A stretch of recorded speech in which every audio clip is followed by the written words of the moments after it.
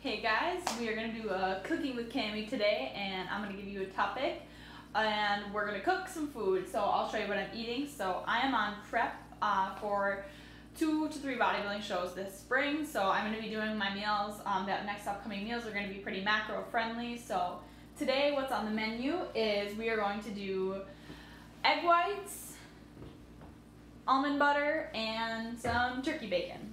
So we're going to start with um, two strips of turkey bacon. We're to throw those in the air fryer. I just like to cut them up into little pieces and then toss them into the air fryer.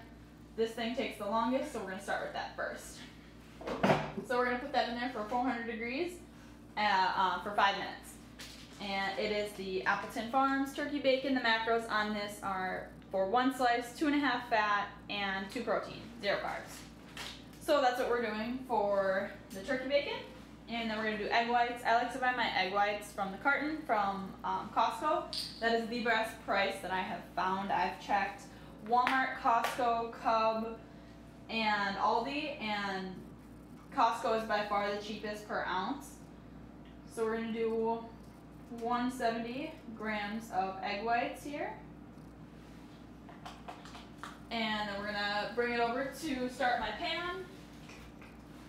I also have found that this cooking spray from Costco is by far the best. Um, it lasts forever. It literally lasts like five times longer than the other sprays you buy from like Cub or Aldi or anything, and they're like the same price. You actually get two of these big cans for five dollars.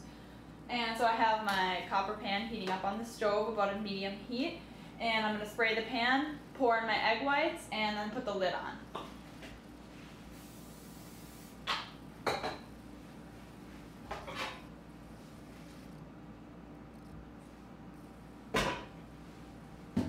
right.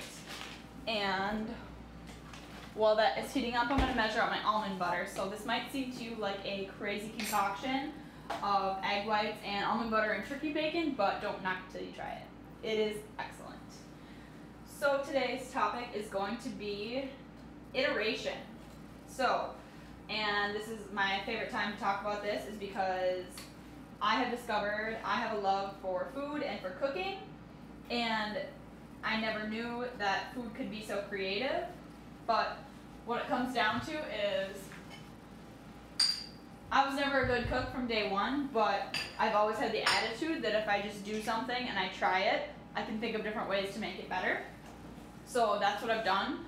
I start with a concept, which is a meal, and I make it. Like I think the first thing I ever made by myself was a grilled cheese sandwich, and I remember I flipped it probably eight times and it was like a pancake thin by the time I was done. And no, it was not a gourmet grilled cheese sandwich, but it was my first grilled cheese sandwich. Um, I used like the stub of the bread and then a regular piece of bread with like the sliced cheese that comes in the plastic packaging.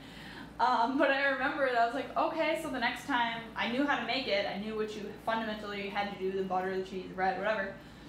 And so the next time I went to go make it, I made it a little bit better and decided, okay, you only have to do a flip on one side and like took these mental notes of what I had to do next time to make it better and I guess I just applied that concept to all my other dishes that I learned how to cook. You don't have to know how to cook it perfectly, but once you do something and then you try it, you can test it and see what need what it needs or test it again to see if it could be better. So because it's progress over perfection is the way to do it in not just cooking, but in life as well. I'm not going to be able to sit there and write down an absolutely perfect recipe if I literally have never made the food before. So I'm going to have to try the food, see if it's good, see what could be better, add what could be better, and see if it's better.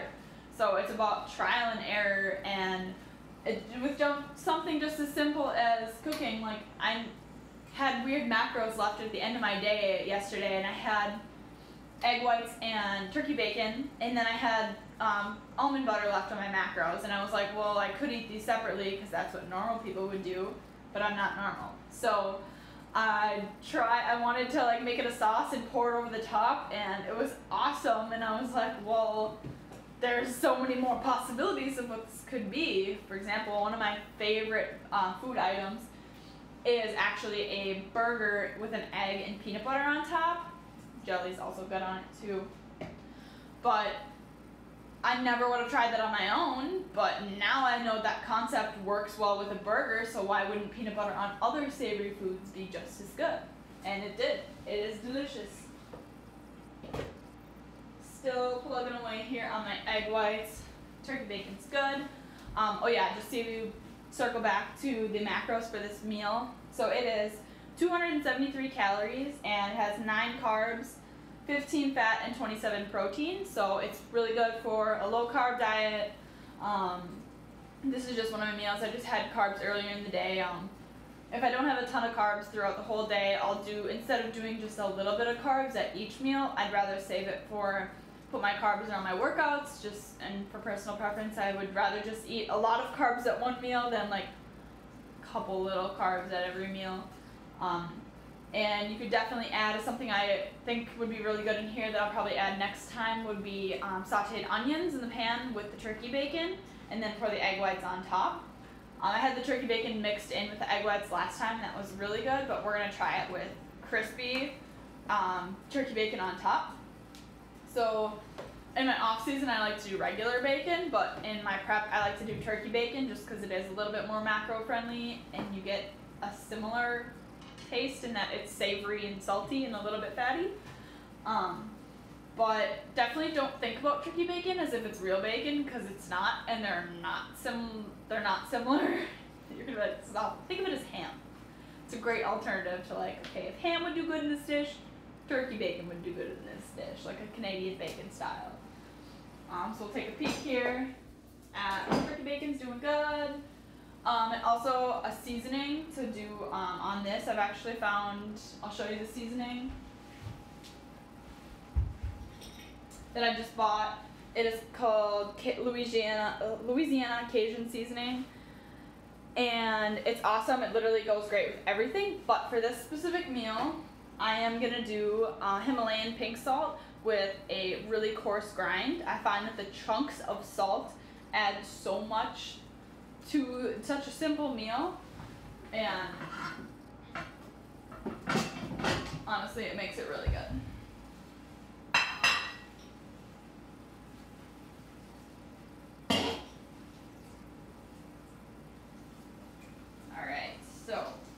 Unstick the eggs. Let's see if we can get a good flip in for the camera. Oh no. Nailed it. A little bit folded, but pretty good. So I do like, it's like two and a half, three minutes um, just until it's cooked all the way through and then kind of unstick it um, and get it so you can flip it. And then I just actually turn off the stove and put it back on there while I get everything else ready. So for this, I have the turkey bacon is all sorts of crispy, it's ready to go. Egg whites are ready. Slide those off.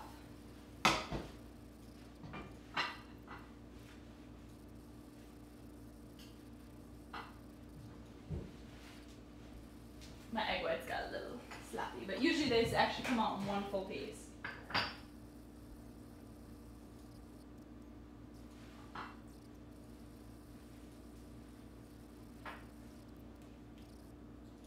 So you could heat this up and pour it on top, drizzle it on top. Um, or if you have a tiny bit of coconut oil, like one gram of coconut oil too, um, that helps to make it a lot slipperier. Um, it'll warm up with the oils in it will warm up as soon as you put it on there where you can kind of start to spread it on top. So you can pre-warm it up in the microwave or just wait and smear it on top. To me, my aesthetics are a work in the progress. Um, my aesthetics with pancakes are probably the best yet. But, so then we'll take the turkey bacon. We'll just shake that out on top of there. And then let me grab the salt. Himalayan pink salt from Costco as well. Just a crack of rock salt on top. And there we have it, folks. Egg white turkey bacon and some motivation to get you on your road. Thanks for watching Cooking with Cami. We'll see you next time.